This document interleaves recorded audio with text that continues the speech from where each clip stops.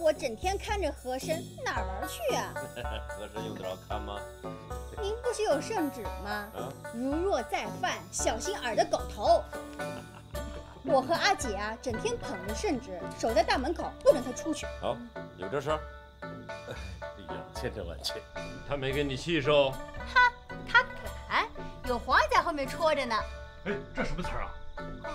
说错了，有皇上在后面站着，他就是有天大的胆子，也不敢欺负我。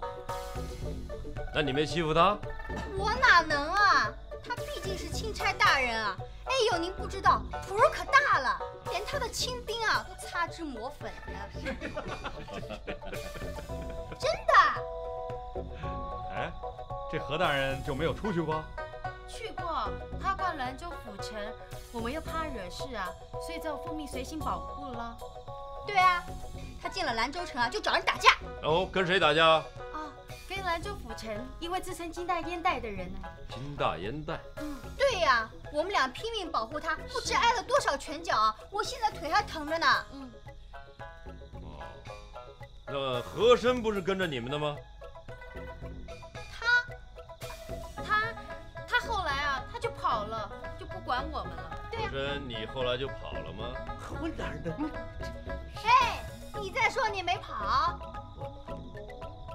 啊，这是是是，就想起来了，当时我撒腿就跑，你我撒腿就跑，不知道怎么回事，鬼使神差就做出这种下来想来让人丢人的事情那。后来呢？后来后来来我们都被抓住了，一提到皇上啊，他才放了我们呢。这一点啊，何大人可以作证啊。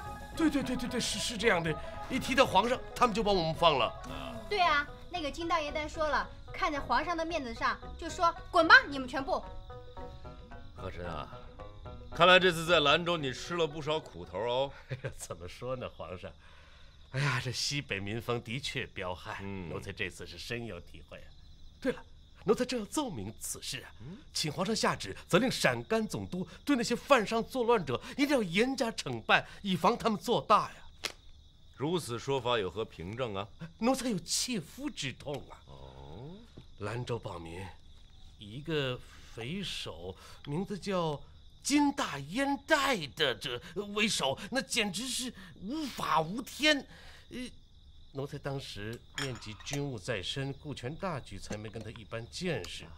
啊，他还谎称是八旗之后，言语之间对皇上大有不公啊，应该严惩。哦哎呦，这还很难呐。金大烟袋，你自个儿出来吧。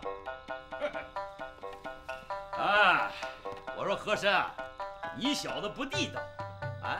在兰州的时候，你对老夫是俯首帖耳，怎么一跑到皇上身边你就变脸了？哼，老子是行不更名，坐不改姓，怎么人人皆知的金大烟袋怎么成了匪号了？啊？哎，你今天要不给我说清楚，小老夫我拿烟袋锅子，我我我我砸你的脑壳！哎，你叫皇上说说，我这亲戚是假冒的吗？啊！本人，本人，快给老前辈赔罪。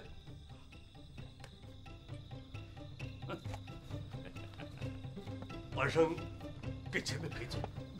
起来，起来，起来！起来吧，你贵贵不吃亏。是的，就说这奸良一案吧，你们所差的都是兰州的地方官员，可是甘肃这上上下下，地广人稀，就凭你们两个，踏破铁鞋也照顾不周全呐，是的，还不都得靠着这个金的烟袋啊？多谢前辈。你们省心省大了。原来皇上早有安排，真是英明英明啊！老夫教训你，那是奉皇上旨意，责怪你办案不力。怎么，你还敢记恨于心呐、你？晚生不敢不敢。皇上，啊，老夫没有这个闲情雅趣，就不在这儿煞风景了啊！行，你先回去歇息，封赏的事儿明天告诉你结果。哎呀，皇上，你看你说的，这大清朝都是咱家的啊，金某啊只有尽心尽力啊。那么你们在这儿坐吧，老夫就走了啊。坐吧，坐吧啊。前辈走好。好，你坐吧。哎，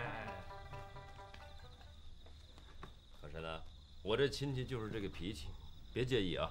奴才不敢不敢。